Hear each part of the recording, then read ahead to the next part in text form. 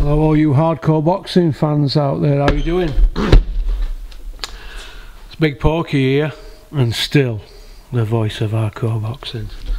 So let's uh, let's get a let's have a bit of a bit of a laugh. Uh, let's have a look. Billy Joe Saunders, right? Will Billy Joe Saunders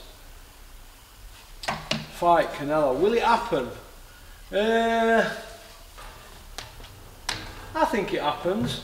I think it happens, but what's the stumbling block? Why, why, why are we waiting all this time? Why can't, why can't Billy just, just agree the money they're offering him? It's life-changing money. He's already a millionaire, but if he does fight Canelo, right, where, where does that leave? Where does it leave Callum, Mundo, Smith? Where does it leave Callum Smith? Because you'd have to say that Eddie Hearn's not really delivered for him, has he really? But I think Billy Joe and Callum, their careers have been, could be better, couldn't they? But they've ended up with world titles and Ring Magazine belts. Callum's a Ring Magazine, a WBA belt.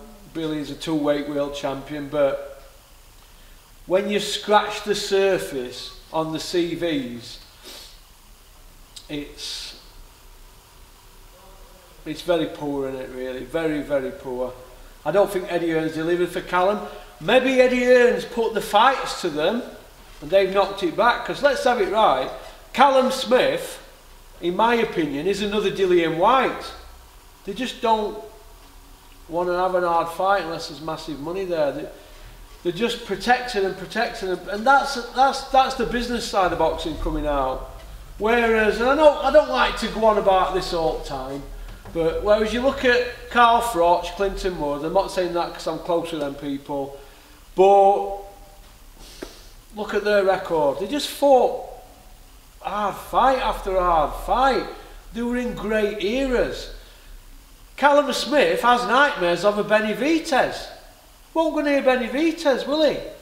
So, but if Billy Joe doesn't fight Canelo, if he doesn't fight Canelo in May, where's he? How can his career be took seriously if if he don't fight Canelo in May?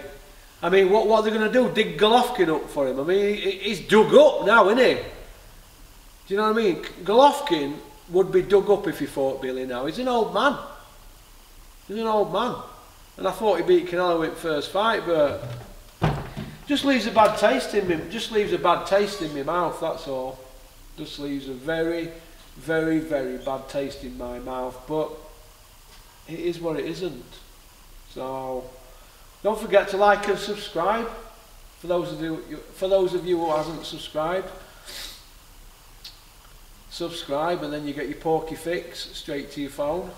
Uh, so that's about it really. I don't need to be shouting out sponsors now because well, everybody knows who's backing me, don't we? So it's one of them things. But tonight's film is Superfly, starring Trevor Jackson.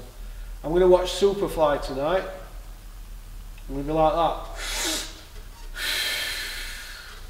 So I've bet it's a good film. So got that Superfly tonight. Glass of red wine, bit of superfly, bit of Italian chicken from W at Wickersley. And then it's uh, head down and graft tomorrow. But peace out, keep on trucking, keep going boxing.